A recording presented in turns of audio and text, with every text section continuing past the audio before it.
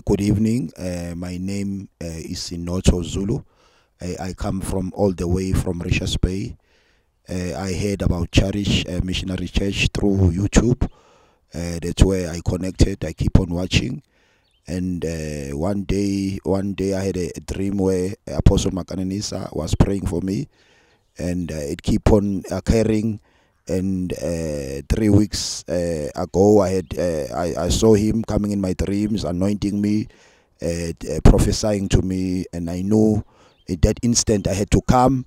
Uh, I, I came and he, he prophesied about my family, uh, about my older brother Sia. I confirmed it to be true because I normally see him in my dreams, uh, praying for him. He told me to, to carry on and praying for him, and also my sister Thandeka. I also see him, see her in my dreams.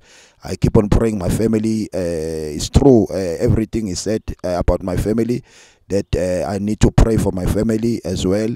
And he also mention, mentioned uh, the surname Sithole. I know because in my father's house, opposite my father's house, uh, the, the, the, the, the surname of the family Sithole.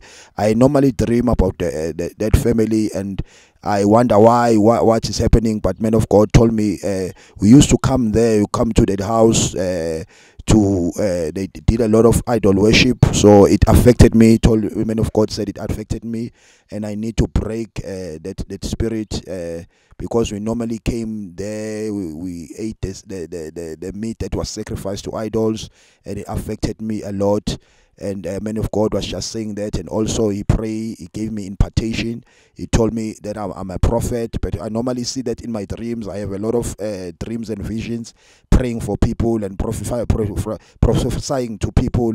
So I confirm everything to be true, uh, and I am happy. I'm joy. I, I I know that God is in control of every situation. I thank you very much.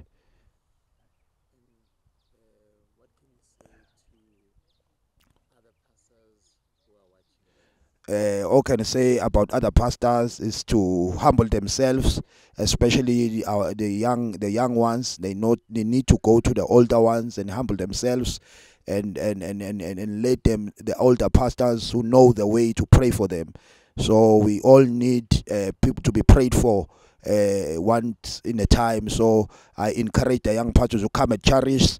Uh, is really this apostle. God is using him in a mighty way, and I am so blessed. And I'm sure if they come, they will be blessed too as well. So I encourage the young ones, the young pastors, and all the pastors to come and, and receive uh, the impartation, deliverance, uh, prophecy about direction about their ministries as well. So I encourage everyone to come, especially pastors, uh, up and coming prophets, to come and, and receive impartation and, and receive direction from the older uh, prophet who know the way and knows the ups and downs uh, and we've been through uh, a lot of things that can they can impart some knowledge uh, to us younger ones.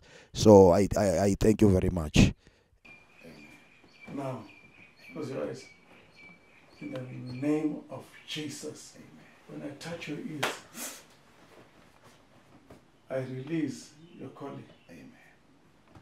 Today you'll be used by god from today amen in jesus name